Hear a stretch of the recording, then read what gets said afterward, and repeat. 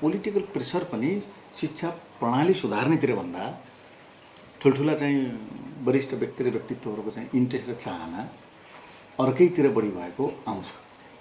बोलायो दौड्दै गयो केही कुरा भन्नुहुन्छ कि भनेको चाहिँ चाहना अर्कै छ। उहाँ कहाँ भन्न गएको होला मैले तपाईँलाई के प्रतिबद्ध व्यक्त गर्न चाहन्छु भने ती म यो पदमा रहन दिन्छु प्राथमिकता विषय भनेर। यति भने चाहिँ बुझ्नुभयो। नि ती चाहिँ आवश्यक परेछ भने भोलि गरौँला। अहिले मेरो प्राथमिकताको विषय भनेको सार्वजनिक शिक्षालाई यहाँ रहँदासम्म चाहिँ सुधार गर्ने अगाडि बढाउने। अब निजी हाम्रो अहिलेको सरकारले नै भनेको हुँदाखेरि चाहिँ नि थ्री पिपीको चाहिँ पोलिसी पनि ल्याएको हुँदाखेरि अब निजी सेक्टरहरूलाई पनि नियमन गर्ने र सँगै लिएर जाने।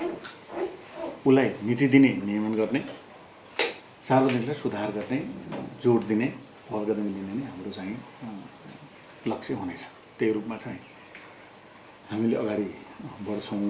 अब व्यावहारिक समस्या बजेट पनि गइसकेको शिक्षा मन्त्रालयमा बजेट छुट्याइसकेको त्यो पनि हिजो एउटा ठाउँ हामीले अन्तर्क्रिया गरेका थियौँ र यो साउथ एसियामा श्रीलङ्का बढिरहेछ कि अहिले। शिक्षामा छुट्याएको टोटल बजेटमध्ये हाम्रो जम्मा एभरेज एघार पर्सेन्ट छ। त्यो पनि सतहत्तर अरब त चाहिँ शिक्षकको तलबमा हाम्रो छ। दस प्रतिशत मात्रै उच्च शिक्षालाई छ। खास गरी विश्वविद्यालय छुट्याएको थोरै रकम हो ठुलो रकम त त्यहाँ जान्छ। तर त्यहाँ गएको रकम पनि धेरै जसो चाहिँ अब नियमित खर्चमा गएको प्रकृतिको बजेट छ।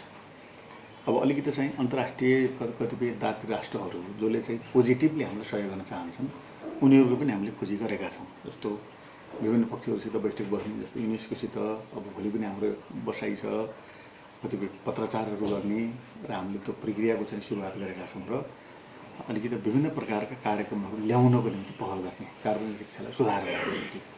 त्यतापट्टितिर पनि हामीले अलिकति जोड गर्छौँ र बजेटको अलिकति प्रकृति यस्तो खालको भएको हुँदाखेरि केही चाहिँ व्यावहारिक समस्याहरू छन् र अब अर्को बजेट प्रस्तुति हुने बेलासम्म यो सरकार रहने स्थिति बन्यो भने अलिकति सुधार गर्ने नीतिगत सुधार गर्ने कुरामा हामीले मिहिनेत गर्छौँ तपाईँहरूको चाहिँ सहयोग चाहिन्छ। अब अहिले गर्न सक्ने के के हुन् त? भन्दा त पनि तपाईँहरूलाई भन्न सक्छु। अहिले नेपाल सरकारको यो क्षेत्रसित भएको कार्यक्रम भनेको चाहिँ राष्ट्रपति शैक्षिक सुधार कार्यक्रम।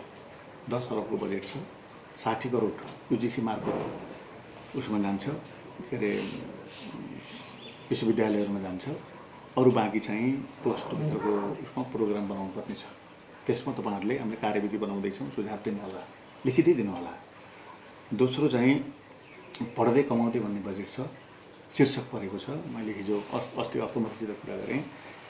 सानो परिणाममा सुरुवात गरौँ भन्नुभएको थियो उहाँले। मैले अलिक बढी चाहिँ माग गरेको छु मन्त्रालयको तर्फबाट। अलिकति चाहिँ यसमा शिक्षा स्वास्थ्य स्वास्थ्य शिक्षा नै हो अहिले अरू विषय पनि छन्। तर अलिकति चाहिँ देखिने गरी उत्पादनमूलक कामहरू चाहिँ गरौँ भनेर अब तपाईँहरूलाई पनि मैले भन्न चाहन्छु। दुईवटा स्कुल भेटियो एउटा सुर्खेतमा रहेछ।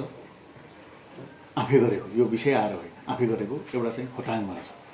अब अरूले पनि अलिअलि गरेका छन्। उनीहरूलाई पनि हामीले बोलाएर भेट्छौँ।